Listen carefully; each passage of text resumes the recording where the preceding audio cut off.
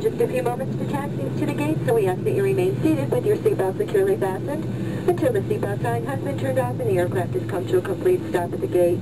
That will be your only indication that it's safe to get up and move about the cabin. We also ask that you keep the aisles clear of any carry-on baggage. This is the termination of our flight this morning, so we ask that you check the back pockets, closets, and overhead bins for any articles you may have brought with you. Extra care should be taken when opening the overhead bins as heavy articles may have shifted during our flight. On behalf of your entire flight crew, it's been our pleasure serving you this morning.